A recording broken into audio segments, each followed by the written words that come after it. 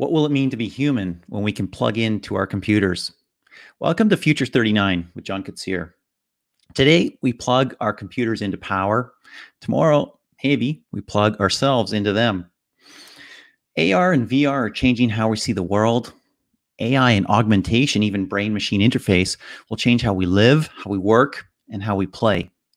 To talk with us today, I want to bring in Cathy Hackl. She's a LinkedIn top tech voice former Magic Leap evangelist. She's HTC Vive evangelist as well. Actually, it's Vive, has consulted with Porsche. She's a serial author and much, much more. Welcome, Cathy. Thanks for having me, John. Such a pleasure to have you. We've known each other for a long time. I'm not sure we've ever done something like this before. So I'm super glad to have you. And I know that you were thinking this was an audio podcast until about three minutes ago. And so you had to rush. I really appreciate it. Yeah, but I got it done. I put the makeup on. We're good with video. That's awesome. I, I, always have that thing with Vive. I want to say Vive. I know it's Vive, but I want to. I that must have been one of your challenges there. Yeah, I mean, when I first came across the brand, I was like, HTC, what? I knew HTC from like the phones back in the day, right? Yeah. Um, then yeah, once you're in there, you're like, it's Vive, Vive, and it's Vive capital letters. Yes. When you write yeah. it out, it's going to be capital letters. So Vive like live. Okay, Vive now I'll remember it. Awesome. Let's. Um, I gave a bit of an intro to you. You've been in and around AR, VR, uh, and AI, frankly, for a long time. Maybe talk a little bit about that, and talk a little bit as well about the current state of where VR and AR are right now. Yeah, so I've been part of the industry. It's been about five years now. Um, it feels like dog years, to be honest. Um, but I, I, always tell people, and for folks that have never heard my story before, I always say that um, I got to VR from storytelling. So I was a journalist. Um, I know you do a lot of, uh, you know, you're a journalist yourself. Um, so I, um, I, I was working back in 2004 for CNN, and part of my job was to look at all the raw footage that was coming in from the war in Iraq. And when you have that type of job and you're seeing things that are just not very nice, you kind of turn your humanity switch off just a little bit, right, to get by. I, I say I'm, I was a Facebook moderator before there were Facebook moderators. Um, and it wasn't until I had my first VR experience, which was in an HTC Vive, um, that I didn't feel like I was fully able to turn it back on. Um, I went to a conference back when we used to go to conferences in person. it's funny to say that now. Um, and I put on a headset, went into an experience called Confinement by The Guardian.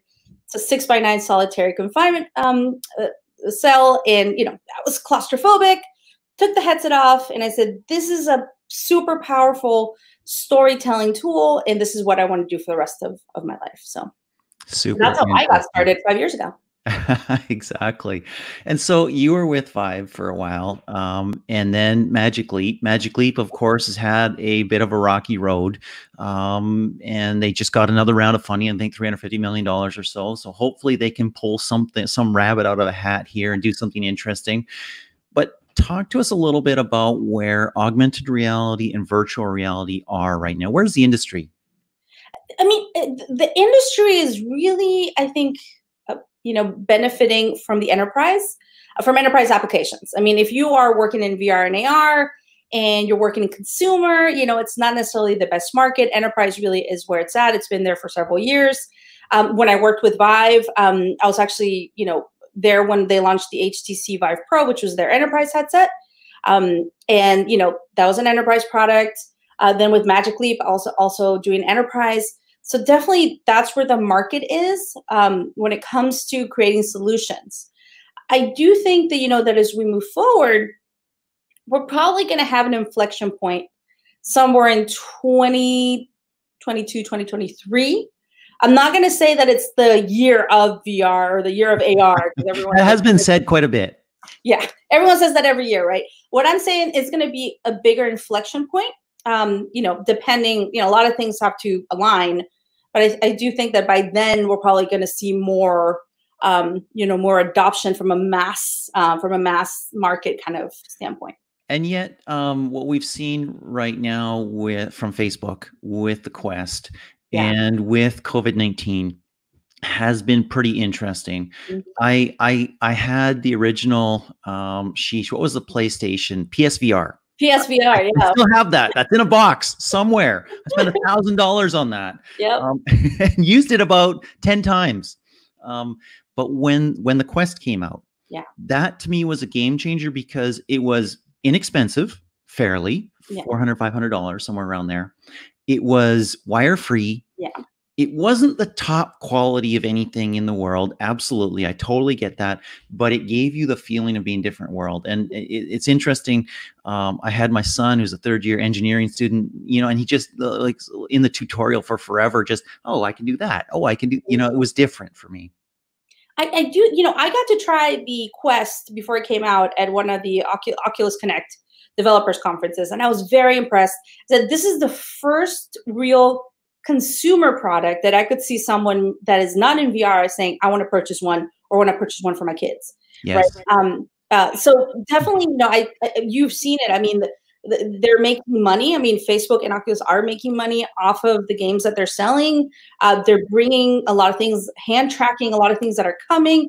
Um, so um, I think what they're doing is really interesting. I think it's very powerful. I mean, I had so many. sense the big butt coming. No, actually, no. I'm I'm a big fan. Like I, the only virtual reality headset that I own is a Quest. I sold all Wow. my other headsets.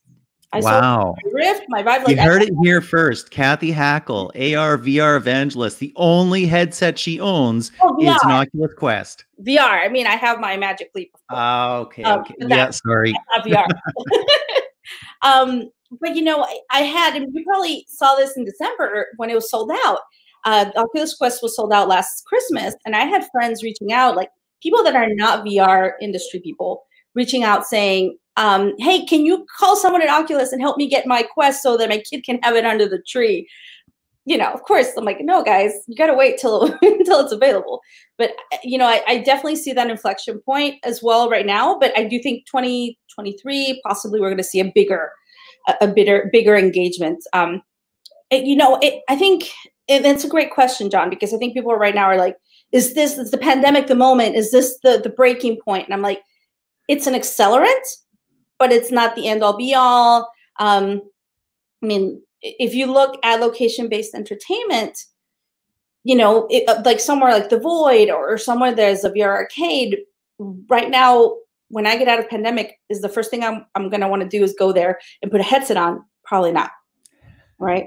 Yes, yes. Mhm. It's interesting to consider this, and as we think about what's next and AR coming up and other things like that, to consider where Apple is, right? And and there's been a lot of speculation about that, and it seems pretty clear right now that Apple is not too interested in VR, is not too interested in this socially isolating form of I won't say entertainment because it'd be a lot of different things, including work and other things like that, and we'll get into those things, but Apple's interested in augmented reality and mixed reality in in in something that doesn't put a wall between me and you when we're in the same room together. Can you talk a little bit about that?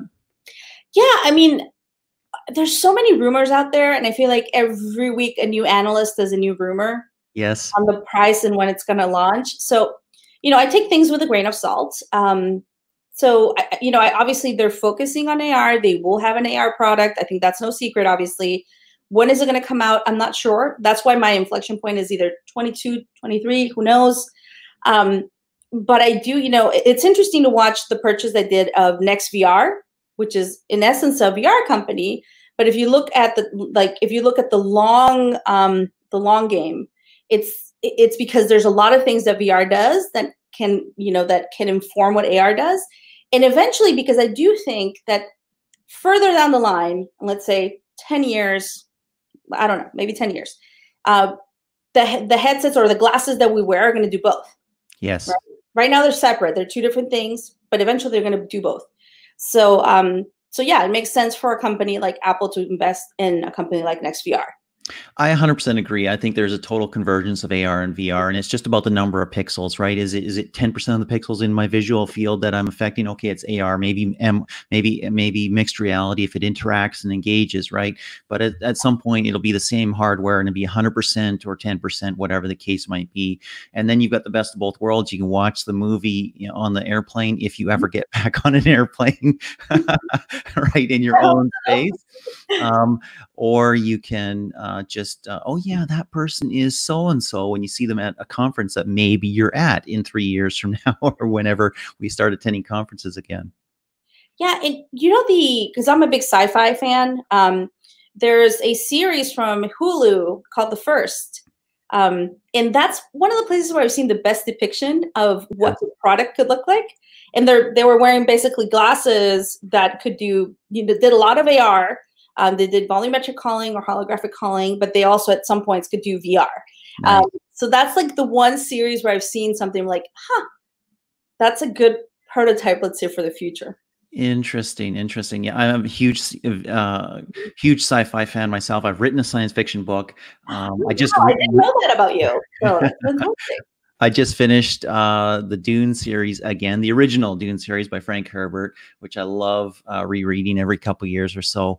Uh, but yeah, I mean, I, am also watching Upload um, on Amazon Prime. I don't know if you've seen it, yeah. but it's you know people get uploaded into the cloud basically. And uh, anyways, uh, nearly here nor there. Let's get back on track here. Oh, I do want to say something about Upload. Sorry, John. Um, I actually got to preview it before because I did a partnership with Amazon and with Seeker, and um, I, they didn't they interviewed me as a futurist on can, nice. can this happen? Like, would this eventually happen? And we had a great conversation. So, so you were kind of consulting on the outset for this particular series when they were launching, not so much prior. I mean, I would have loved they would have hired me as a consultant beforehand. I don't think they knew about me till when they're about to launch. Launch. So they they interviewed me as uh, they had an episode called Ask a Futurist. Yes, all about upload. So we talked about you know can this happen, um, etc. Like brain brain machine interface, um, pixels, like all kinds of stuff. So Interesting, interesting. Well, cool. Hey, serendipity. I didn't know that. I brought it up because I'm doing it right now. So awesome. Well, we're going to talk about what's coming next, right? And we're talking a little bit about the future of AR and VR, but also brain machine interface. And we know that Elon Musk has a company, Neuralink, that's working on something here. There are other companies as well. What do you see happening here? So I've tried these technologies, not Neuralink, because that's an implant that's a lot more invasive, right? Um, I've tried more the external kind of devices. Um, so, and actually, I have one right behind me. Um, maybe I can. Yep, go ahead. Go ahead. Let me turn around one second. It's all good. Yeah, I've got one right here. Um, I've tried these, uh, you know, different companies, Neurable, Neurosity, um, NextMind, uh, and I've been able to change channels using just my mind, dim lights using my mind, um, do an escape room, kind of inputting numbers and codes using just my thoughts and it's it was really impactful and really interesting to me for several reasons. Um, what I will tell you, the biggest thing I walk away from with this um, is that my brain really, really loves the workout, really enjoys it. When I think about using these technologies, it's like this endorphin. Like I get this like thing where I'm like, man, I really want to do this. So, you know, I'm like, is this a good thing or a bad thing? I'm not sure. I'm still sitting with that one but my brain really enjoys this type of interaction. And then when you start to think about how we're, you know, the operating systems of the future, how are we going to engage with technology?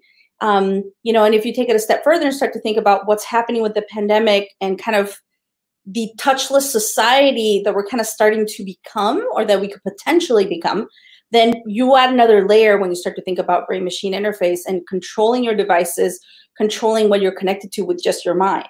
Um, Can I ask a question? I know you're going to show that and I'd love to see it. That's mm-hmm. awesome. But you are literally one in maybe a hundred million. I don't know. I'm guessing right here who has actually tested and tried these things. I've done one myself as well, you know, where you're trying to, in the science museum, you're trying to push the ball farther. And the, the, the, the there's a person on the other side, they're trying to push the ball farther and trying to concentrate your mental efforts. I have a muse, so I know a little bit about some things that are going on there, but I have never turned on a light yeah. with my mind. I have never uh, switched off or switched on a machine. What's that feel like? What what do you do in order to make make that happen? You concentrate. You have to concentrate. You have to focus on depending on what the exercise is. Sometimes you would be focusing on a certain part of the screen, and you have to really focus. And then it would read your. I guess it reads your brainwaves and reads your intention, right? And it makes what you're thinking happen. Um, so it's a lot of focus. It's training. Like you have to train depending on the headset you like I've used. Some of them need a little longer to calibrate. Some of them calibrate faster. Um, some do require training, um, like this one, like the Neurosity. This is, I mean, if you look at it, it's it's kind of stylish. Let me see if I can get it closer, but you know, and you you can see the little sensors there, and yeah. this goes kind of on your on someone's head like this. Wow, you should be in Star Trek. I know. so fashionable. Now it's gonna mess up my hair. Um, but you know, with this one, you have to practice. Like you can scroll your iPad with the Neurosity, but you have to practice. Um, let me let me ask about that. Yeah. Like, how hard do you have to focus and concentrate here? Is it like you know you're five years old and I'm going to lift that thing with the power of my mind, and you're training and you're going like, is it that hard? Is it just like mm, turn the light switch on? It's uh, you know some of the ones I've tried have just, just been like I'm just changing the channel and it happens. Um, I mean, it does require some some effort from your mind, but I wouldn't say it's like you know, like really concentrating and um, I'm sweating or something like that, right? I'm trying to bend, I'm trying to bend a, a spoon and I'm sweating or something. Uri Geller the second. so, so I mean, it does require concentration and a state of mind, I would say, to accomplish some of these things. Um, so I don't know. I mean, I consider myself a guinea pig of sorts because I enjoy trying these things. We thank I, you for your service. Thank you. Right. I wonder sometimes. I'm like, how much am I really? You know, is this a good thing or a bad thing? Um, but but yeah, it's interesting. I, the biggest thing, like I said to me, I walk away realizing that my brain really enjoys it like there's receptors that light up when I think about it. So well, it's just interesting to hear what you're saying in terms of what it's like because you have to mm-hmm. focus, concentrate. Some systems it works better than others. I know that um, all of us have some degrees of a smart home, right? And so I can turn on some lights with my voice, or I can turn on some, some lights with an app. But typically, I think, you know, am I going to pull out my phone? Am I going to open it, unlock it? Am I going to find an app, right? Yeah. Open an app, um, wait for it to open, connect, all that stuff, and then click light on. Well, probably not, unless I'm like closing the garage when we're in bed and making sure that it's closed, right? Yeah. So that's a lot of effort. Using your voice and Echo or Siri or Hey mm-hmm. Google is is is less effort. And I'm wondering where using your brain is on that scale now. And it sounds like it's not too bad in some cases, although a little iffy.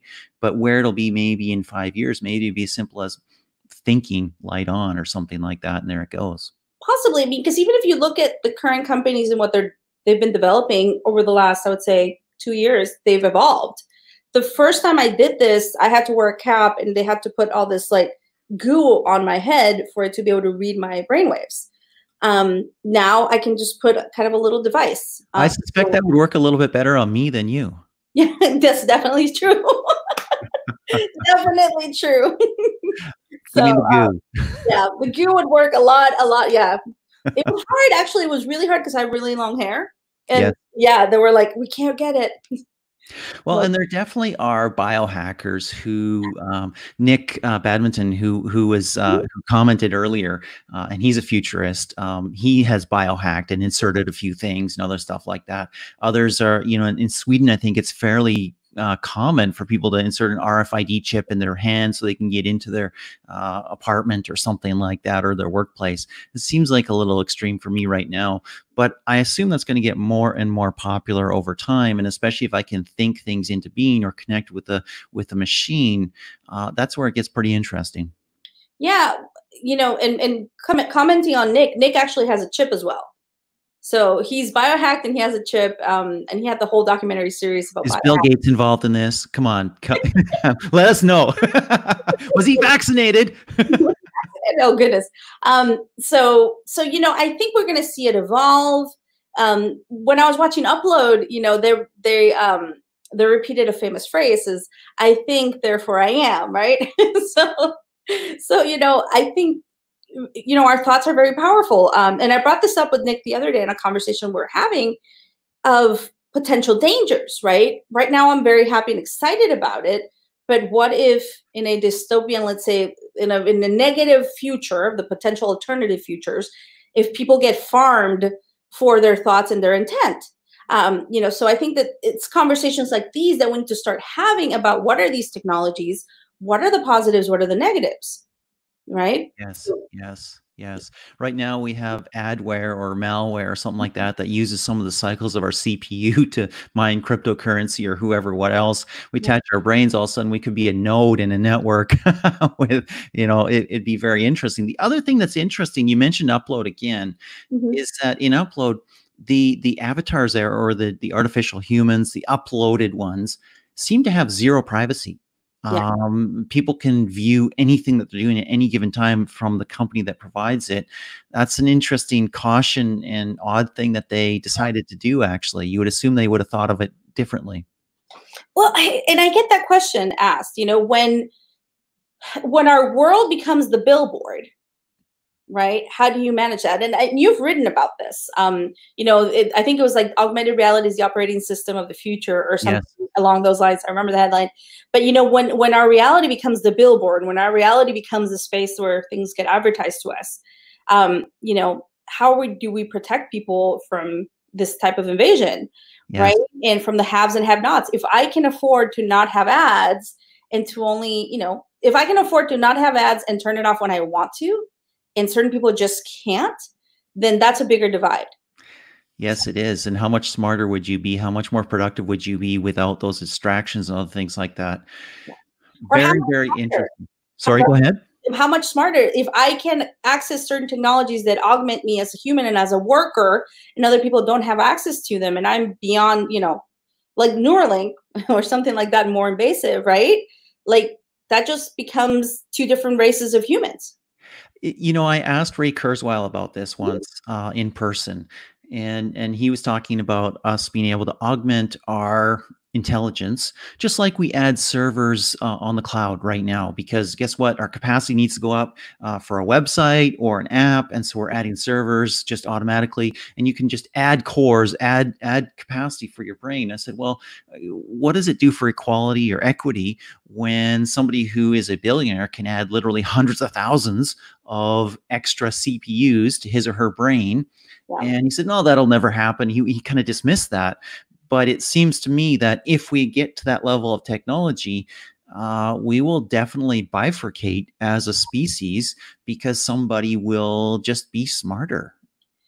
I mean, it's something I do worry about, and I think that's why, especially when we talk about artificial intelligence and you know, and and talking about brain machine interface and everything, like there's best practices and there's ethics that we need to talk about.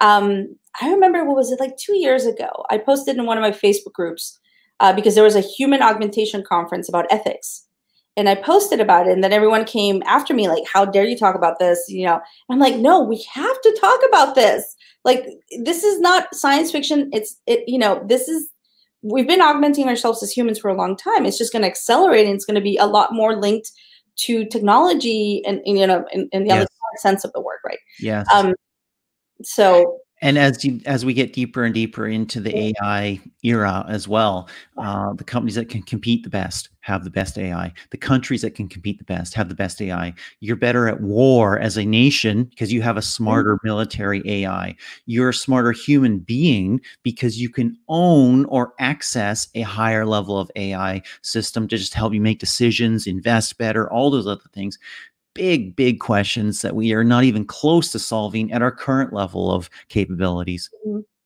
but that we need to start discussing nonetheless right um Yeah. Let's talk about some of your new initiatives that you're coming up with. Uh, Emerging Foresight, you're working on another book as well. Tell us a little bit about those things. Yeah, so um, I'm working on my second book. It's called The Augmented Workforce How AR, AI, and 5G are going to impact every dollar you make. Um, and, you know, hopefully, if everything goes well, uh, it'll be coming out fall of 2020. And our main goal with it is, you know, it's a business book. Uh, it's for anyone in business, communications, technology, whichever industry they're in that's interested in better understanding how these technologies are going to impact the worker, the idea of work, um, automation of course we talk about automation but also you know the concept of work as we understand it. So very excited i'm, I'm co-writing it with um, john Buzzell from unreal. He works at unreal engine so very pumped about that.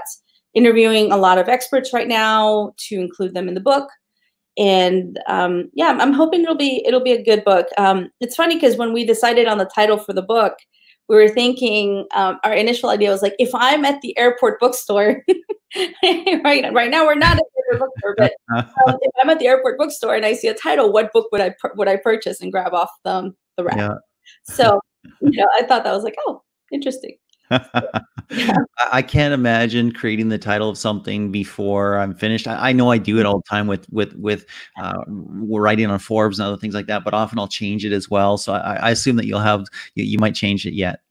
Yeah, it potentially could change. You yeah. know, everything's so. I mean, nowadays I never say never.